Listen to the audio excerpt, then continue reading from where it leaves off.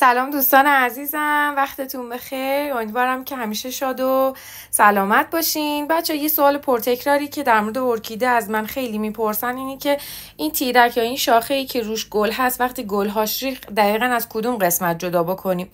خب ببینید از دو روش می‌تونین استفاده از دو روش رو می‌تونین به کار ببرین. روش اول اینه که شما اینو این تیرکی که روش گل هستش از این قسمت انتهایی اولین گره رو که می‌بینید یه, یه... بند بالاتر از یه بند انگشت بالاتر از این گره. اول شما می‌تونین این تیرک رو قیچیش بکنین. زمانی که گلهاش ریخت توجه بکنین. زمانی که گلهاش ریخت می‌تونین از گره اول جداش بکنین. یعنی قیچیش بکنین و دیگه اینو بذارین کنار و این خودش دیگه بعد یه زمانی از کناره توقه گیاهتون یا شاید از رو همین به شما یه همچین تیرکی به شما بده تیرک گلی به شما بده یا می‌تونه به شما کیکی بده یا همون بچه ارکیده بده.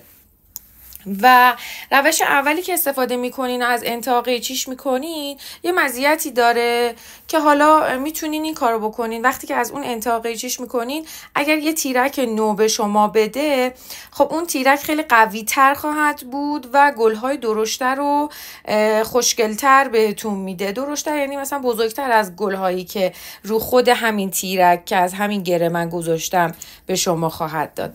حالا با اینم باز بستگی به نژاد ارکیدهتون داره که حتی بعضی از ارکیده هایی که از رو همین تیرک قبلی هم گل میدن گل های درشتی میدن. این هم باز بستگی به اون تیرکی داره که شما نگهش داشتین و اون واریته یعنی نژاد قوی که ارکیدهتون داره.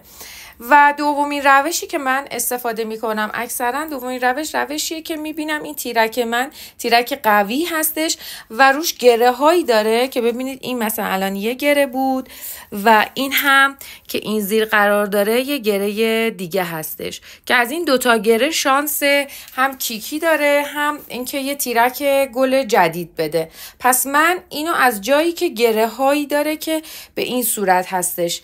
گره هایی که باز شده ازش یعنی مثلا شما این شاخه گلتون که هست اگر که گره های روش باشه که باز شده باشه و گل داده باشه دیگه اون به کارتون نمیاد. پس از اون قسمتی که گره هایی هستش که به این صورت موجود روی تیرکتون.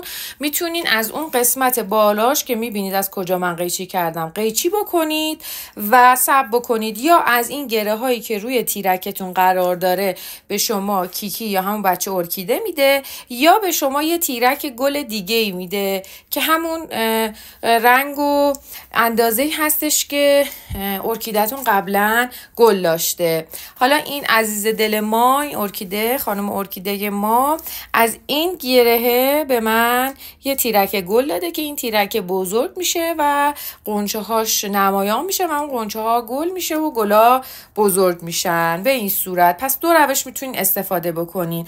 و این دو روش خودتون باید ببینید که کدومش بهتره. یه وقتی می‌بینید که تیرکتون گره های قوی نداره و به درد این نمی‌خوره که اینو بذارید بمونه. خب می‌تونید از یه گره مونده به انتها شما قیچیش بکنید یا می‌تونین از جایی که گره های مفیدی داره روش گره هایی که به کارتون میاد یعنی می‌دونید که از این گره ها این ساقتون قویه و از این گره ها یا کیکی میده یا تیرک بذارید باشه.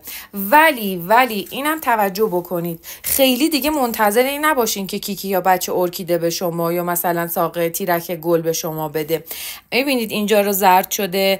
اگر این ساقتون نگه داشتین و بعد از یک تایمی دیدین این هی داره زرد میشه زرد میشه اومد پایین. اون دیگه زرد شده به شما نه کیکی میده نه تیرک گل میده.